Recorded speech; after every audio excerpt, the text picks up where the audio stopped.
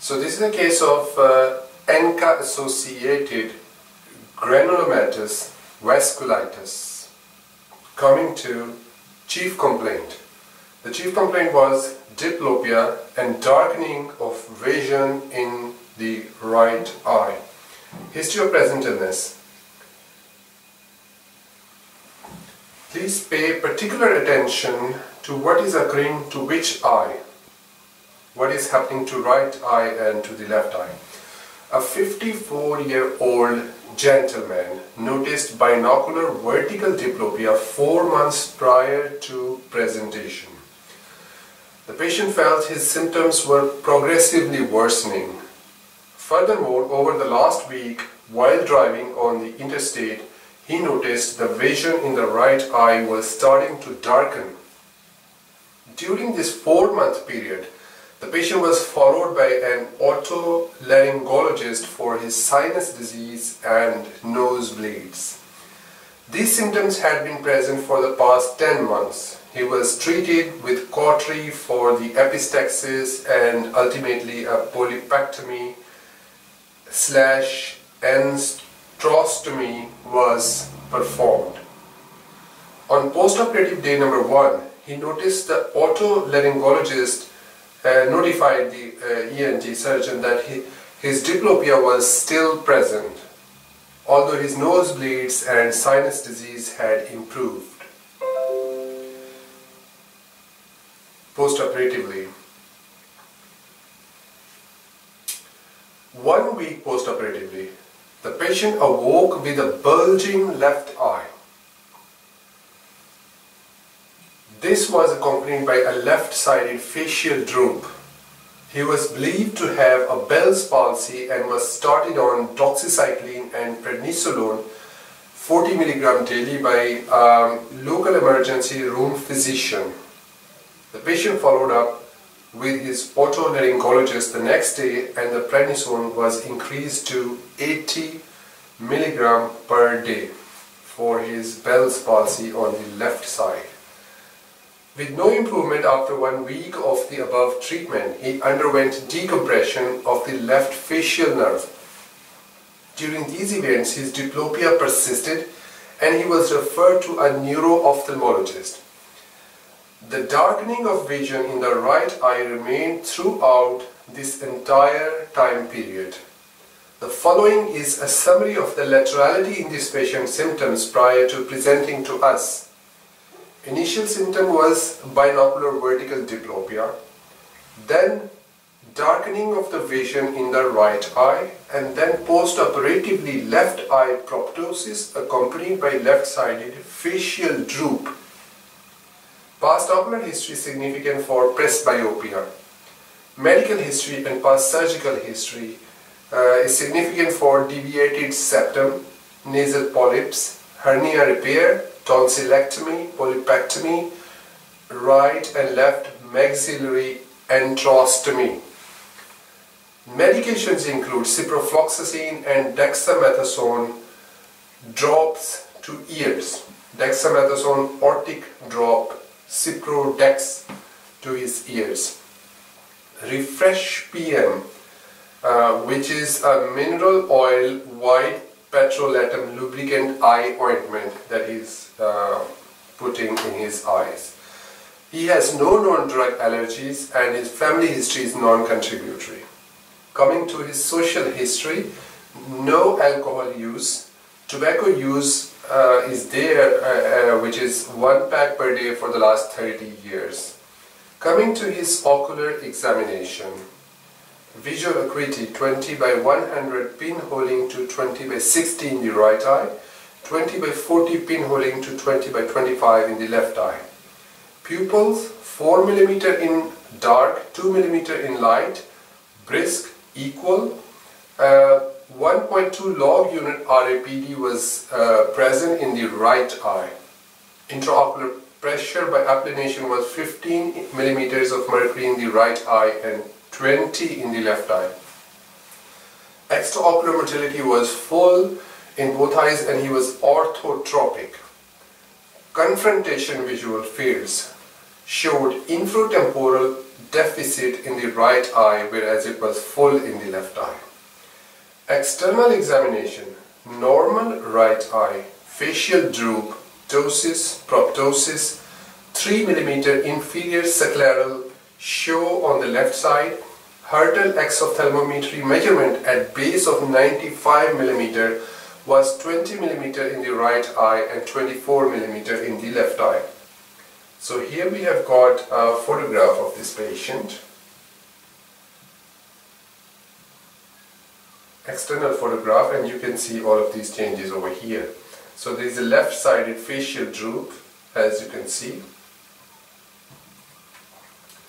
Coming to slit lamp examination. Lids and lashes normal both eyes. Conjunctiva and sclera normal in both eyes but there were some dilated episcleral veins inferiorly in the left eye.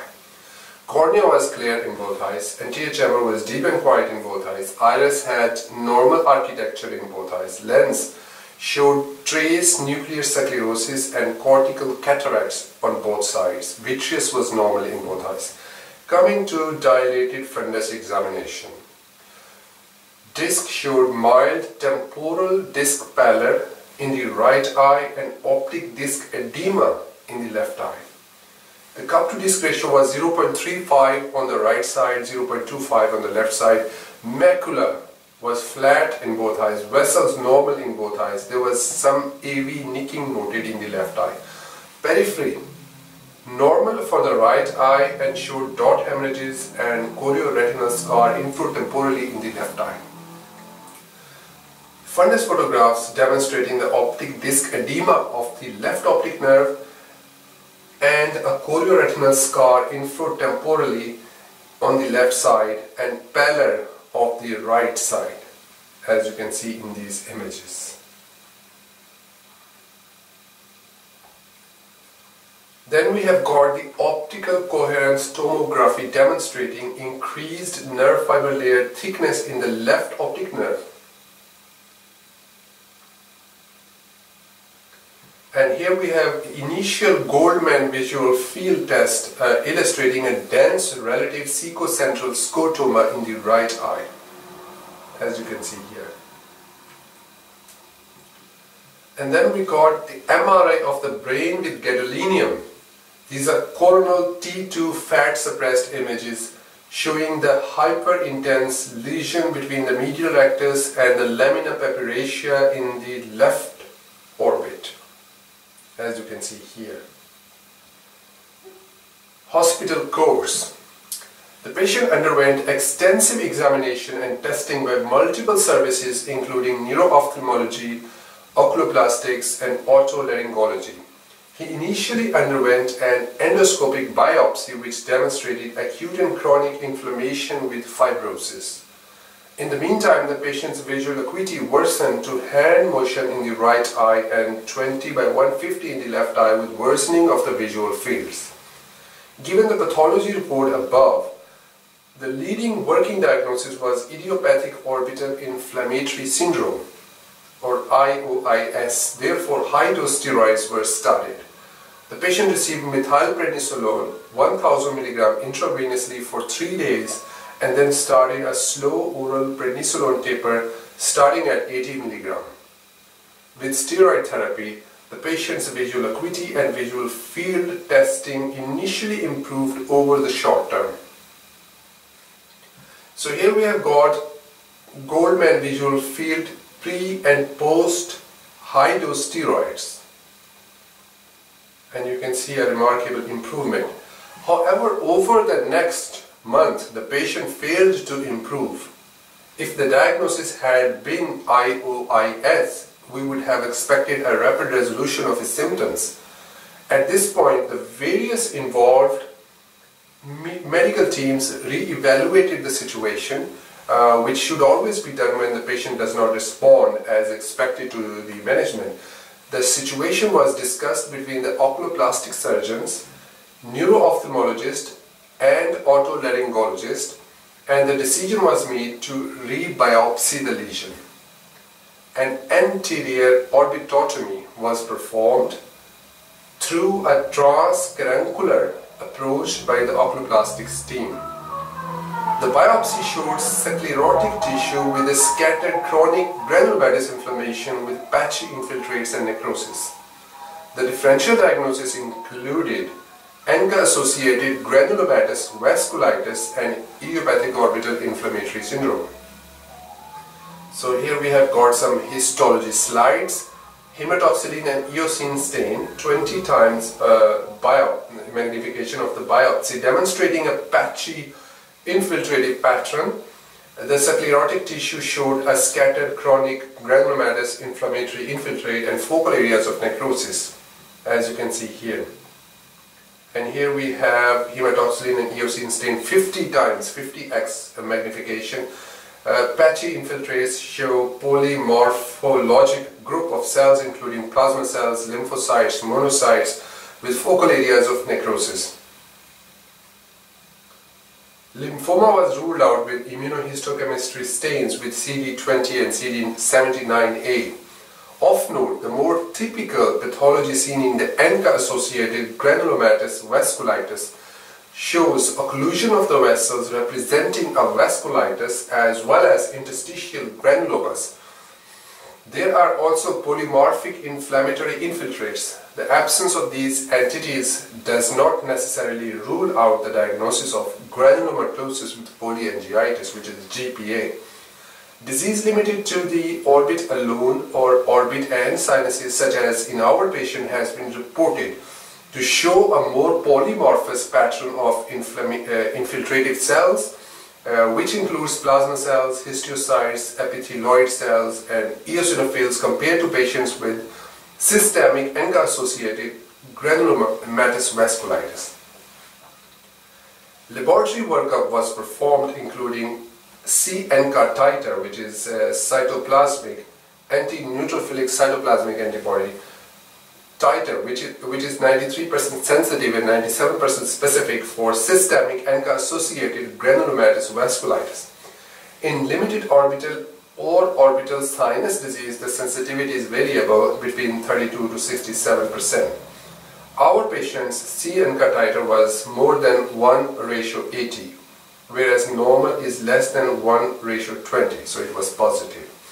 He was referred to the rheumatology service and started on cyclophosphamide with intention to transition to methotrexate once in remission.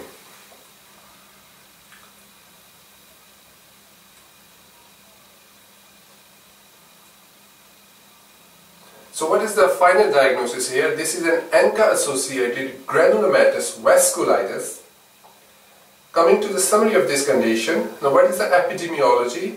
Incidence is 10 cases per million per year. 90% patients are Caucasians, middle-aged uh, population but can be seen in younger or older patients. The symptoms include, the ocular symptoms include diplopia, eye pain, decreased vision, decreased visual field, and the systemic symptoms include hearing loss, hemoptysis, joint pain, and neuropathy. Coming to signs, again signs can be ocular or systemic. The ocular signs include proptosis, eyelid edema, ophthalmoplegia, scleritis, conjunctivitis, uveitis, and episcleritis. The systemic signs include rhinitis, renal failure, epistaxis, perforated septum causing saddle nose deformity, gingivitis, subglottal stenosis, pulmonary nodules, cavitary lesions, hemorrhage, etc. Now what is the treatment? Cyclophosphamide is the first line of treatment for most in conjunction with corticosteroids. So 1 milligram per kg per day of the corticosteroid, 2 milligram per kg per day for oral cyclophosphamide.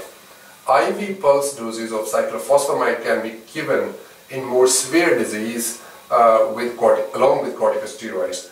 Once in remission, switch to methotrexate or azathioprine. Corticosteroids can be tapered to a low maintenance dose once remission is achieved. Plasmapheresis in very severe disease, including pulmonary involvement or other end organ damage. Alternative options in severe disease unresponsive to the above treatment includes mycophenolate mofetil, 12-deoxy um, spergualin, antithymocyte globulin, rituximab, infliximab. Now finally, what is the differential diagnosis of this condition? Of course, ANCA-associated granulomatous vasculitis, but it can also be lymphoma, idiopathic orbital inflammatory syndrome, Churg-Strauss syndrome, microscopic polyangiitis, and relapsing polychondritis.